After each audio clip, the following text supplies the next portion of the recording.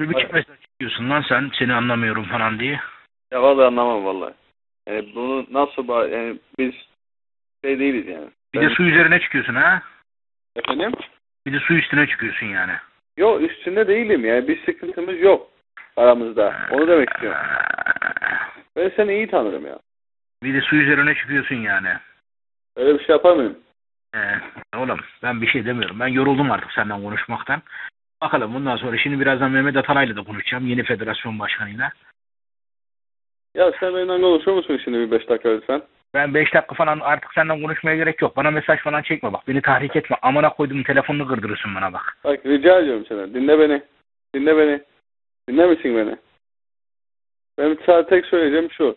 Sonuçta bir yola çıkmışız. Çok yapacağımız var. Bırak Oğlum yapma- benden niye sen bana niye yalan söylüyorsun ya? Yalan söylemedim ya. Bak. Lan o değil. oğlum ekmek arası yalan. Amına kodumun korkağı. O Feridun'u hapse attırmazsam orospu çocuğu. Yok bütün yaptığı şikeleri çıkartacağım ortaya. Sana bir şey o Ankara sana? Demirspor'a sattığı maçları, Mersin İdman Yurdu'na yolladığı teşvik primleri, anasının amını görecek o. Arada sen de göreceksin işte. Ya o değil. Sen bana bunu Amına yapma. koyacağım Bak, onu. Amına şey kodumun kafası. sana? Ben ne kadar tepki vereyim? şerefi 9 milyon euroluk değil.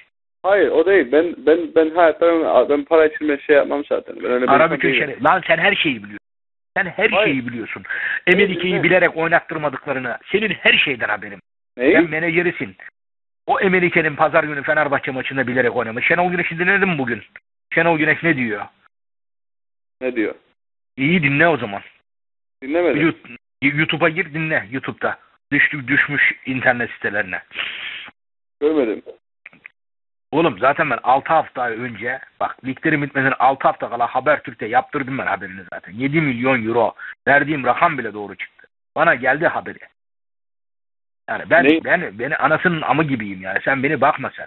Ben 7 milyon euro Habertürk gazetesinde yarın okursun. Kaç hafta önce yapmışlar o 7 milyon euro şeyini. Tamam mı? Anladım. Yani ben zaten sen bilmeden biliyorum yani. Ama ben benim gücüme şu gidiyor. Sinirimden ağlayacağım. Şimdi çocuklara söylüyorum amına koyayım. Onlar bile şaşırıyor ya. Ya beni bir dakika dinler misin lütfen? Ya sana nasıl yapar? Lan benden bana yalan söylemem benim gücüme gidiyor. Ya o değil bak beni dinler misin lütfen? Bir dakika Ergin arıyor. Bir dakika dur. Ya lütfen ya beni dinle. Alo. Alo. Ya benimle konuş bir dakika ya bırak konuşalım şimdi biz konuşalım. Bir dakika dur şimdi çocuk arıyor. Bir şey önemli bir şey söyleyecek bana. da.